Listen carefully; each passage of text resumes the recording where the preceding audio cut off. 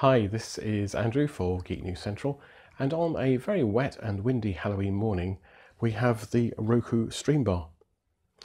This is new to the UK. If you recall, we currently have the Roku Express, the Roku Premiere, and the Roku Streaming Stick Plus, and this brings a fourth device to the Roku lineup over here. As you can tell, this isn't quite just one of those small streaming uh, units that you might just be able to hide behind the TV. This is a what is sometimes called a soundbar, so it provides a much richer uh, audio experience. Um, this the unit here, we'll see in more detail, has a number of speakers in there, and it's really intended to to to kind of. I think I mean I think we all know that the quality of the speakers in many of the flat screen TVs aren't great. So instead of having to fork out for a you know a 5.1 surround sound system with speakers all around the room, we can get a great deal of that experience using these, these sound bars. As you'd expect, it, it covers all the bases in terms of the picture quality. Uh, you've got uh, support for 4K TVs up to HDR10, and if you have anything less, you'll still be taken care of. It has uh, Dolby audio, and you can also connect uh, Bluetooth to it. And for those of us who have perhaps some kind of video library, you'll be keen to hear that it has a USB port on the back, and although I haven't tried it out yet, it looks like you'll be able to plug in a memory stick or USB hard drive and access your videos uh, and films that way. That's something that's been missing from the UK range for a little while, so it's great to see that come back. The, in terms of price, it is $129.99, so it's a, a little bit more expensive than the Streaming Stick Plus, which is the previous kind of high-end model. Uh, but hopefully the additional features of the high-end audio will make it worthwhile. Um, I should make it clear that this unit was provided for review by Roku. I didn't buy it myself. Um, but I think we'll, we'll take a look, we'll, we'll get it unboxed and we'll take a look at it in more detail. Uh, and we'll be back in a minute. Okay, so we're back with the uh, Roku Stream Bar. So we're going to get this unboxed and then we'll get it hooked up to the TV and uh, hopefully experience some premium audio, as they say. So you can kind of see the stream bar here. Um, as it shows you around the back, you can kind of see it here without its grill on, and you can kind of see the additional speakers. Um, you've got your traditional Roku remote, and there's a few other bits and pieces in the box. But let's uh, let's just take a look and see what's inside.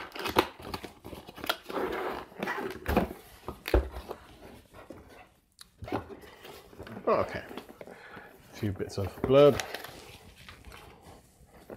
Looks like here's the, the soundbar itself.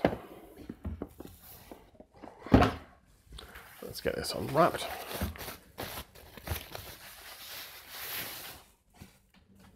Okay, so there's the unit there. I think that's going to look quite well underneath the TV. And then let's see what else is inside the box. I imagine it's going to be mostly cables and power supplies and, and things like that.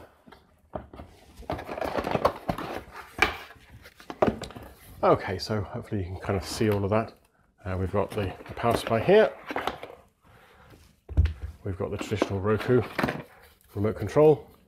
Uh, it's just uh, pretty much as we'd expect. And as ever, they let you have the batteries, power leads. So it looks like it comes with both a, I feel like a, a GB or a UK power lead plus a continental one, which we won't need. And then we've got a range of connections or cables for connections here. So we've got a, um, a digital audio cable, which is great because what that means is that we will be able to hopefully output the sound from the TV uh, into the Roku. So we're not restricted to using the soundbar's capabilities for programs that come through the streaming service. And then we've also got a HDMI cable which is great. It's always nice to have that. You're not having to run out and, and buy another cable. Okay, so what I'll do is, well, I'll get this all, well, actually, sorry, before we do that and get it connected up, let's have a look around the back. Um, so we've obviously, looks like we've got some mounts here if we need to screw this to anything. Uh, they look like the standard kind of camera mounts. And uh, we've got the power connection. There's your digital input for audio, HDMI, the USB port that I kind of talked about in the introduction, and then it looks like there's a, a reset button. So tell you what, I will get this all connected up. I don't think anybody needs any help getting connected. If you're a geek, it all looks pretty straightforward. Uh, these will go to the TV, that'll go to the power socket, and hopefully very quickly we'll get some half decent audio out of this. Okay, back in a second. Okay, so uh, after a few minutes, I've managed to get the Roku Stream Bar all set up. Very straightforward. As I said, plug in the power, plug in the HDMI cable, and uh, looking through the instructions, I was reminded that not all HDMI sockets are the same. If you do have one that's labeled ARC, ARC, that's audio return channel, it means that you can get audio from the TV to the stream bar. So if you are watching something else, say on Sky, uh, you can get the audio from that channel kind of to be routed through to the, uh, the stream bar. So if you do have that feature on your TV, do try using it. It'll make your life uh, a lot easier. The other thing I spotted is that the new Roku remote is a wee bit different. Uh, I don't know if I can get this to go into focus, but you'll kind of see that there's three buttons on the side. Uh, there's a new mute button if you've had one of the previous generation uh, controllers from the stream bar. I know it's, it's not quite in focus, but uh, you get the idea. You should be able to just see it. So we've been through the setup process. It's all very straightforward. Uh, connected the stream bar to the Wi-Fi network, uh, went online to activate the device through the Roku website, and then there's a, a, little bit where my TV unfortunately is is so old it doesn't have the ARC, so it just warns you that you haven't connected it up correctly, uh, you know, confirms that you don't have an ARC, and then reminds you to use the the digital optical cable. So it's all very well done. It, you know, kind of leads you down the garden path. So right now it's just updating all my channels and things like that and loading them onto the, uh, the stream bar. I'll not bore you with this further. Okay, so I've had a quick run through the features of the stream bar and so far I've been pretty impressed. Obviously it is a Roku streaming device at its heart and it works exactly as you'd expect a Roku in terms of you've got your channels and all that kind of stuff and everything seems to work fine. But the thing where I've been really impressed uh, so far is that it has managed to successfully take over the, if you like, the sound of the TV uh, across the board, not just when you're looking at the Roku channels. If I'm looking at Sky, the Sky audio comes through the, the stream bar. If I'm looking at just the ordinary TV, the sound comes through the stream bar. And that's great because one of the issues is always uh, about the volume and turning the volume on the TV down whilst you turn the surround sound up. Uh, it's all handled automatically and it doesn't matter what uh, what remote you use. You can use the Roku remote remote and the volume goes down. You can use the TV remote and the volume goes up and down. You can use the Sky remote and the volume goes up and down. Uh, it's really very clever. So from that point of view, very impressed. Okay, well look, I'm going to use this for maybe for another week or two and then I'll come back for a final summary at the very end. Hi, it's Andrew for Geek News Central, and we're back with the Roku Stream Bar after about two weeks of testing in the family room. Now, overall, I've been quite impressed with the, the Stream Bar. It was easy to set up and it's easy to use.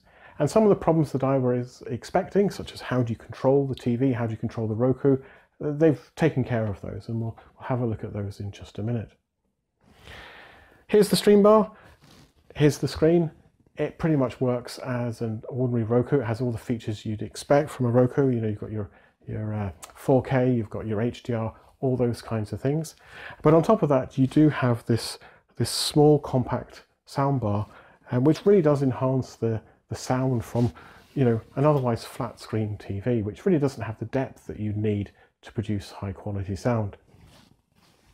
In terms of the sound, I've actually found it most noticeable, the, the improvement whilst playing things like video games. Um, and yes, there's definitely improvements whilst you're watching TV, when you're watching films.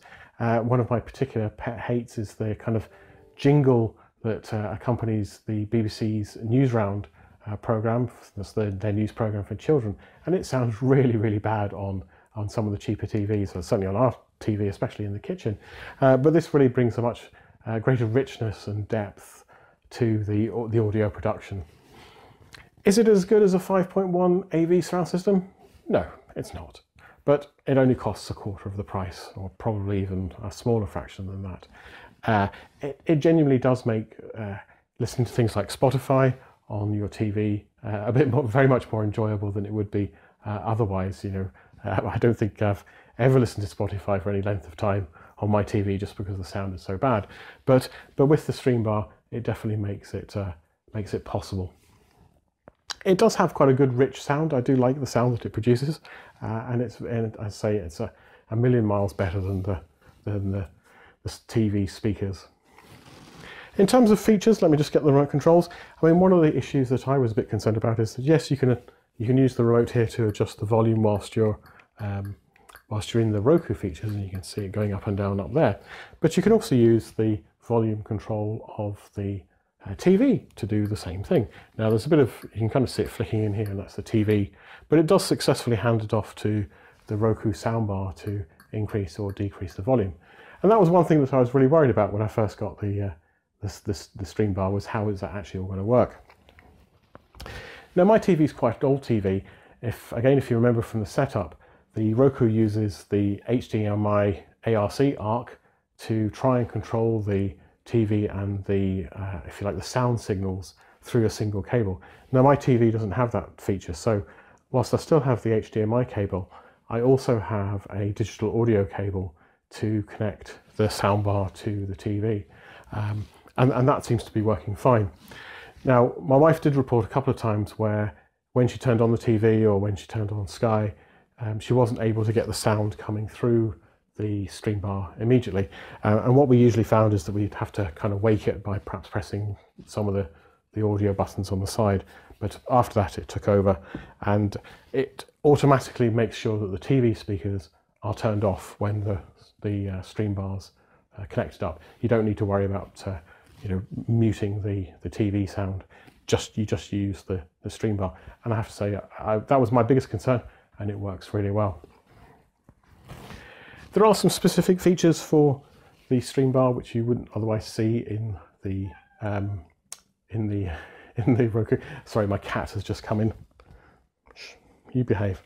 So one of the things you'll notice here is we've got uh, a Bluetooth channel, as it were, and that allows you to connect Bluetooth devices, obviously, to the stream bar, so you can get the benefit of the audio from that um, through the through the stream bar. Um, also in settings, there is a, a, kind of section on audio where you can adjust. Uh, you can adjust the, the, things like the bass and the speech. You can uh, uh, change the clarity and things like that for some of those terrible films where you can hardly hear hear a word that people are saying. So there's there's an additional benefit there. But other than that, it's pretty much as you'd expect from your Roku. You've got your all your usual features. If you haven't used the, uh, the, if you like, the voice search feature and the voice function on this, it's pretty good. You just press the uh, microphone button and say what you want. Launch BBC iPlayer. And there you go, it starts up the BBC's iPlayer. So it's quite a nice feature if you, instead of you having to faff around and use the cursor to go backwards and forwards, you can basically just tell it what you want. Home,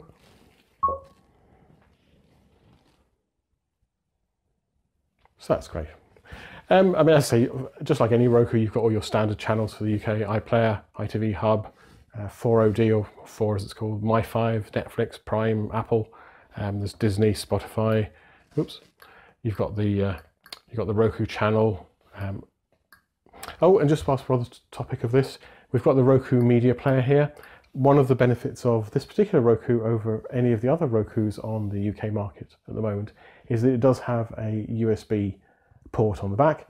I've put a little memory stick in there and it does mean that you can play uh, any of your media media from that uh, USB thumb drive. Um, let's just go through that just very briefly. Yep, so if I go to video, uh, I could choose my external thumb drive. I do have a, a, NAS as well, but I can go into the thumb drive and then it'll uh, if I go into my videos, I think uh, my daughter has all her Harry Potter in here for quick access. So that's a really handy feature and it's definitely worth looking at if you have a media collection of your, of your own. Oh, the one thing I should also mention is that there is a complementary uh, Roku app which actually allows you to control the uh, Roku from your phone. So you can probably see that it actually, as I use the app, it, uh, it responds to my touches here. Um, one of the other benefits is you can have private, uh, if you're like private listening through the app. in that uh, it'll route the, the sound and the audio through to perhaps headphones that you're wearing that connect through the, uh, the phone, which can be, can be handy if you're trying to watch something without disturbing other people.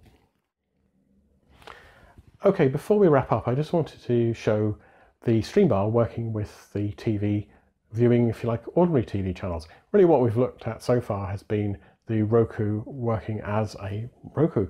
So I'm just going to flick it over to BBC very briefly because I don't want any strikes on my YouTube channel. But we'll see that we'll be able to record the adjust the volume with both the Roku remote and the TV remote. So this is uh, BBC One, and you can see that if I use the Roku buttons, you can see the volume goes down, and if I use the TV remote, I can also make the volume go back up again. So we'll just get back to where we were before, just back on the, the Roku. Oops. There we go. So as so as I said, that was also one of my concerns, but it, it does work really seamlessly.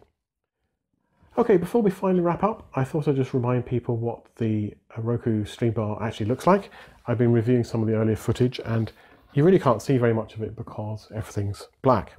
So here's the stream bar, kind of smooth on top, fabric around the outside covering the four speakers that are within the stream bar. You've got the little Roku LED, uh, sorry, logo and a small LED there, it goes red when it's turned off. Around the back, you've got all the connections and you've got a couple of uh, screw mounts if you need to attach it to the wall or anything. So really that's it. This is the Roku Streambar. It's 130 pounds. It has all the features that you'd expect of a high-end media streamer. You've got your 4K, you've got your HDR, and you've got the much improved audio over a flat screen TV. So I'd thoroughly recommend it if you're looking for something just to, to perhaps lift your TV without spending an absolute fortune. Um, I think it's a, it's a great purchase. So this is Andrew. Oh, I should just say, if you want any more information, it's www.roku.com. And uh, the SAS Stream Bar is available from all major retailers, as they say. So thanks very much. This is Andrew for Geek News Central.